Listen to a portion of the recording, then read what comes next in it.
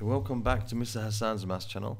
I'm now going to answer question number 10, which is the final question from the P2 International A-Level Edexcel 2021 January paper. And this question here is about series and sequences, and it's like a worded problem involving them. It says, Owen wants to train for 12 weeks in preparation for, a, for running a marathon. During the 12 week period, he will run every Sunday and every Wednesday. On Sunday in week 1, he will run 15 kilometers. On Sunday in week 12, he'll run 37 kilometers. He considers two different 12 week training plans.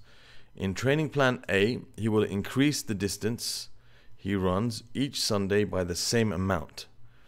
Okay, so this sounds like an arithmetic series. So he's going to increase it by the same amount. It's like this is like a common difference. Every time he has to add the same amount every week. Calculate the distance he will run on Sunday in week five under training plan, training plan A.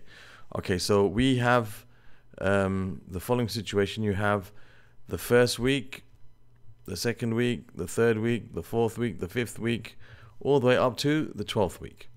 Right, 12 weeks. And it says here um, on week one he's going to run 15 kilometers. So this is like the particular term. This is the this is the term. This is the value of that term. So u1 will be 15 kilometers on week one. He's going to run 15 kilometers. So that's 15. We don't know any of these, but we know that the last one here is 37 kilometers. Okay, so we got to work out what this value is going to be over here what the what the amount he's going to run on the fifth week is. So we can see that this is a arithmetic se series. It's arithmetic because he's going to increase by the same amount every time. So this is arithmetic. So in, in that case, we know the formula for the particular term, the nth term, is equal to a plus n minus 1 times d. Okay, and we know what the last term is, and we know what the first term is. Okay, and what we can do here is we can say, okay, I know A is 15. I know that the number of terms is 12. Okay, um, the common difference is what I have to find. And I also know what the 12th term is. That's 37. Okay, so those are the things that I know here. So I can use this formula to find the value of D. That D is a question mark. Okay, so now what I'm going to do here is I'm going to um, put in the values. I know, I know, I know this is U12, which is 37.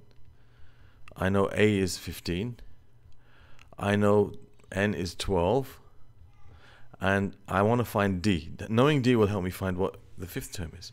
So I've got 37 minus 15 is equal to 11D. So I can say that 37 minus 15 is 22 is equal to 11D. Therefore, I can see D is equal to 2. So that means the fifth term is going to be, if I use this formula, the first term, which is 15, plus 5 minus 1, which is 4, times 2. So the fifth term is going to be 15 plus 8, which is 23. So that means in week 5, in week 5, okay, he runs, he will run 23 kilometers. Okay, so that's part A done. Now for part B. It says in training plan B, he will increase the distance he runs every Sunday by the same percentage. Uh -huh, okay, so now this is gone. This is a geometric sequence. This is now geometric because you have to increase it by the same percentage. So 10% more than the week before. Um, so it's going to be multiplying by the same amount each time, for example. I'm just giving an example of 10%. Now, so we know here that a geometric sequence is given by the nth term is a times r, which is a common ratio to the power of n minus 1. So we know a was 15. We know that um, r is what we have to find because we want to find the fifth fifth week, week five, right? Um, we know what um, um, yeah, we know what the nth term is. It was 37. Okay. So I guess we have everything we need. Yeah, n is equal to 12. Okay, we know that n, n is equal to 12, so we know the 12th term is 37. So we can say that 37 is equal to the first term, which is 15, times a common ratio, which we don't know, to the power of 12 minus 1. So you can say 37 is equal to 15 r to the power of 11. So we got 37 over 11 equals, sorry, 37 over 15. 37 over 15 equals r to the power of 11. So therefore we can say r, r is equal to, r is equal to, the, you can say the 11th root of 37 over 15. 11th root. Let me just make that neat. It looks like an n now. 11th root of 37 over 15. So that's something which um, I'm going to leave in this form because it's going to give me some big decimal. So I can leave it in this form and I can then use it to, to work out what uh, the fifth term is. So the fifth term is going to be um, a, which is 15, times r, which is all of this, the 11th root of 37 over 15, to the power of, for the fifth term, it's going to be 4, 5 minus 1, which is 4. Okay, so that will give me what I'm looking for. So let's have, have a look at this. We got here 15 times. And we got, um, let me put this in a bracket so that's clear. I've got the something root, this button here. That's the 11th root of, and I'm going to have 37 over 15. I'm going to close this bracket and I'm going to raise this to the power 4. Okay, whoops. I'm going to raise it to the power 4. Okay, so that's 15 times the root of 37 over 11 over 15. Sorry, the 11th root of 37 over 15 all to the power 4, or that part to the power 4, not the 15, and that gives me 20.829. So that's 20.829, 20.829, which is um, to one decimal place. One decimal place, that's going to be 20.8 kilometers. So in week five, he will run to one decimal place 20.8 kilometers. Okay, so that's the answer for part A and B. And now we're going to go on to part C. Okay, part C says Owen will continue uh, so Owen will also run a fixed distance x kilometers each Wednesday over the 12 week period. Given that x is an integer, and the total distance that Owen will run on Sundays and Wednesdays over the 12 weeks will not exceed 36 kilometers, find the maximum value of x if he uses training plan A, and then part 2 for if he uses B. So let's look at part A. So for part A, we had the first term was 15.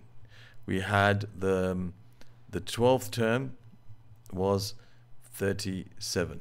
We had the number of terms was 12, 12 term, and we had the common difference was 2.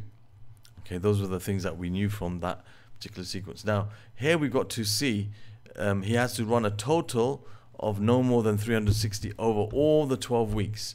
So what we need to do is work out what the total amount he's running under on on on on the uh, on the Sundays, okay, and that total amount I need to um, you know add whatever I need to add to it to make it 360 so 360 minus the total amount he runs on Sundays that will tell us how much he's going to run on the Wednesdays okay? The difference because he's not going to exceed 360 so the difference between what he runs on Sundays and um, 360 will tell you how much he's going to run on Wednesdays okay? So let's find the total now of these. So the sum of n terms of a arithmetic sequence is n over 2 times 2a plus n minus 1 times d.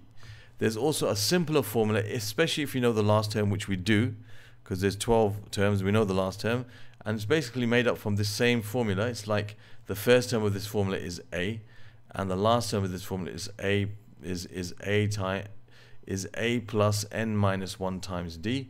All right, that's like the nth term, that's like the first term, and you add them together, you get 2a plus n, n minus 1 times d. So this is like using the first term plus the last term. Just makes it a bit easier, uh, you know, mathematically to work out. So you have n is 12. So we can say the sum of those first 12 terms. You can say the, the, the sum of those 12 terms, 12 over 2 times the first term, which is 15, plus the last term, which is 37. Now this is only for arithmetic sequences, not for any other type. You can't use this formula here for a geometric sequence. So this is going to give us 6 times that's 15 plus 37. That's 47 plus 5, 52, which gives us 300 plus, um, 12, 312. So now we want to work out how much x is, which is the amount he's going to run on Wednesdays. Okay, so on Wednesdays, the total amount is going to be the total that he's going to run is going to be 360 minus 312. That gives you 88. Oh, it's not 88. What am I talking about? That gives you uh, 48, doesn't it? 48. 48 kilometers. 12, 360 minus 312. Let me. I'm going to store this answer, by the way, here. I'm going to store this answer as A. Okay, that was the answer we got of the last question. In fact, what I'm going to do is, let me see. What did I have here? Okay, what I'm going to do is actually this. I'm going to do this.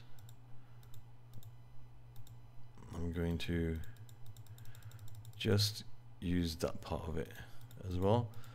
Okay, I'm going to store this as B. In fact, store as B. This is like the common ratio. I'm storing the common ratio as B. That's for um, the last question because I think I'm going to use it for part B. So this is nothing to do with this question here, but I've stored it now. So I've got its exact value here. It makes it life a bit more accurate and easier. Now I'm going to I'm just going back now to this 360 minus 312 that gives you 48 as I said. So therefore that's the total he's going to run um, for the 12 weeks. That means x is going to be 48 divided by 12 which is 4 kilometers. So that means every Wednesday okay it tells us here to find um, the maximum value of x. Yeah? So it will not exceed 360 kilometers. So basically he can't go more than 4 kilometers. Therefore it's going to be 4 kilometers is a maximum. That's how that's a maximum he can run so that he doesn't exceed 360 kilometers in total. So we found the total he runs under um, this plan for Sundays and then we took the difference between that and the maximum he can run which is 48 48 that's the total for the 12 weeks. So each week which is x 48 divided by 12 gives you 4 that means he can run 4 kilometers maximum on every Wednesday if he's not going to exceed 360 okay now for part 2 okay so we have now a geometric sequence. So a geometric sequence the sum of the first n terms is given by a times. Now if the value of r is greater than 1 which I think it is it was um, 37 over yeah so I'm going to put r to the power of n minus 1 over r minus 1 this is a formula which is generally easier to use if you have your r which is bigger than 1 it's better to use this form of it. So we know here the first term again is 15 we know that the um, the number of terms is 12 we know the common ratio is the 11th root of 37 over 15 okay let me just confirm that. Yeah uh, the 11th root of 37 over 15 that's correct that was the the common ratio.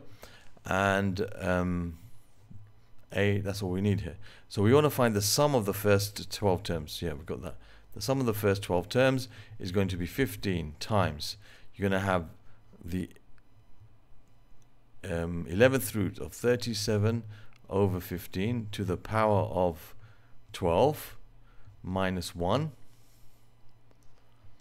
over and you're going to have r which is the 11th root of 37 over 15 minus 1 okay? So I'm going to put this in my calculator and work it out. So I already have I already have some of this stored. If you remember I stored this thing in A and this thing in B. So I'm going to put 15 15 bracket and I'm going to recall A. Alright that's this all to the power of actually that was not A that was to the power of 5 so what I'm going to do is I'm going to take B actually so I'm going to recall sorry B um, recall b. Okay, b was the, this square root of 37 over 15 and I'm going to raise this to the power of 12.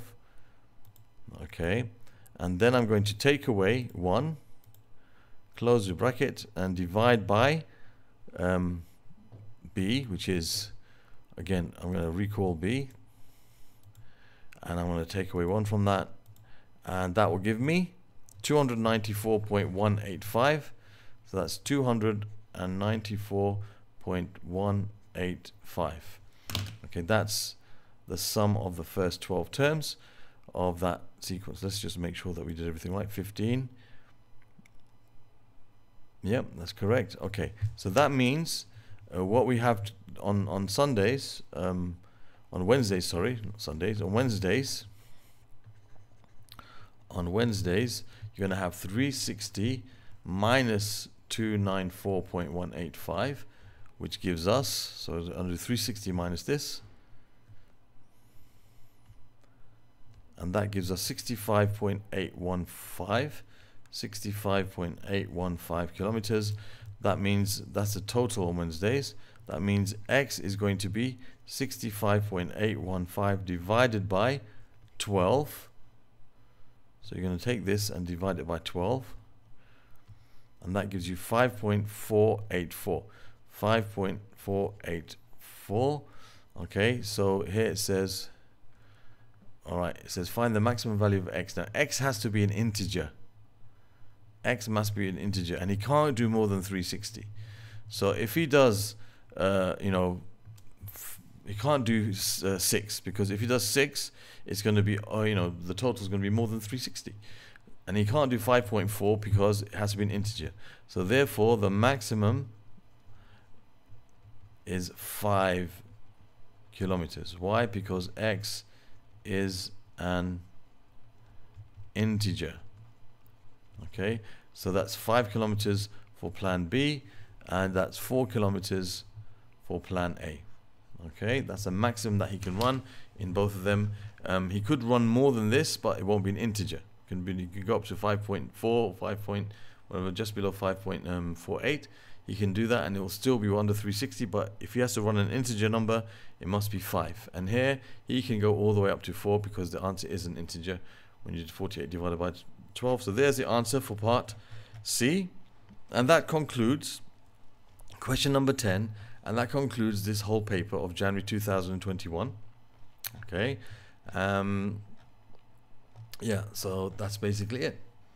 All right. So if you'd like to see other questions from this paper you can click on the link that will appear somewhere in this area. Other questions from this topic of series and sequences which is now all in P1 it used to be split between C the old C1 and the old C2 now it's all in P2 P2 now sorry. It's all in P2 now. You can click on this link here. It will be for series and sequences. You can click on the link over here which will take which will um, you know if you haven't subscribed already you will can subscribe to with that link. At the top of the page here you will find a link taking to a different past paper. If you would like to see the PDF of this paper go to the description link on the uh, playlist. The playlist will be found uh, a link for it is, is going to be found here and also in the bottom of the uh, page in the description of this you'll find a, um, a link to the playlist. And in the playlist you'll find the description takes you to um, the file the PDF file for this paper. Thank you for watching. Um, I hope you enjoyed it and I hope you understood and learnt and I hope to see you soon